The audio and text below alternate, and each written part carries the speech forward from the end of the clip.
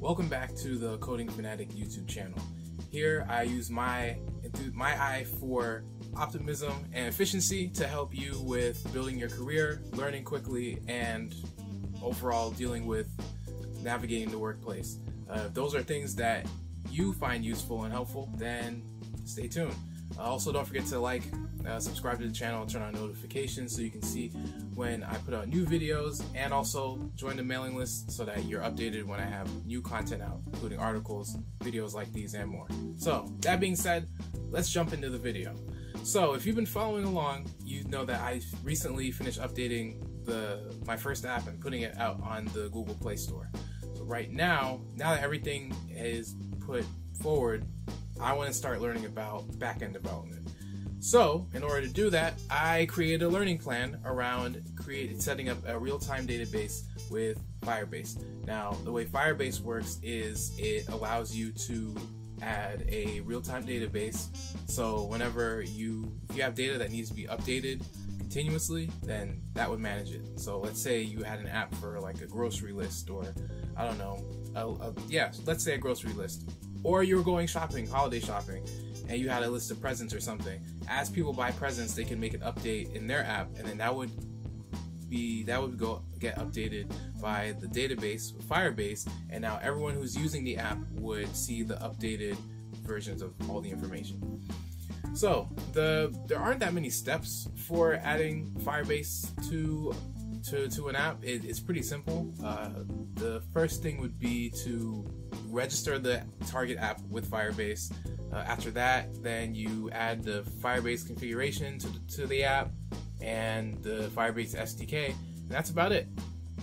And all this after creating a Firebase project. So once you do all that, then everything is set in stone.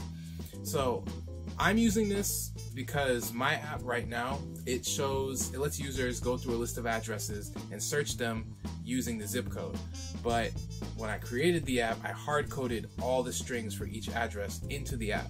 So this isn't really a best practice. And if I wanted to update the list of information, I would have to go in and manually change the APK itself and then re release it. Whereas if I wanted to add maybe authentication later on or have users have set addresses and things like that, all that information, then it would be easier if I set up a real time database with Firebase.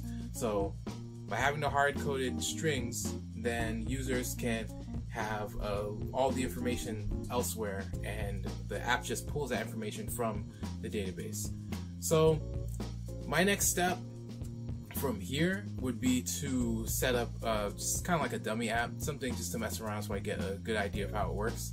So my plan is to create an app that shows a list of names and you can do stuff in the app that edits or removes that names from the list and whenever you quit, quit the app and go back in it should allow you to pull information from the database so this way each person or every instance of the app that where it's installed has a different set of names. Um, that's about it. so once I have that down, then I can figure out how to add that same thing for the addresses in the Salesman Travel Salesman's Travel app. So uh, yeah, that's what you'll see from me over the next few weeks. Uh, it's pretty straightforward. Learn how to set this thing up, and then make a goofy little project, a small little app, and then apply those same principles to the Salesman's Travel app, app and then go on from there. So, that being said, uh, thank you all so much for tuning in. Uh, also, if you have any information on Firebase, or you have any tips or resources that you recommend, drop them in the comments below. Uh, so, that being said, this is your host, Richard Clarke, signing out. Don't forget to like, comment, subscribe, and turn on notifications so you see when I upload videos like these go to codingfanatic.com, codingfanatic.com, and join the mailing list so that you are the first to know when I have new articles and videos around career advice, uh, Android tutorials, and just project updates in general. All right, so again, this is your host, Richard Clarke, signing out, and I'll see you all on the next one. Peace.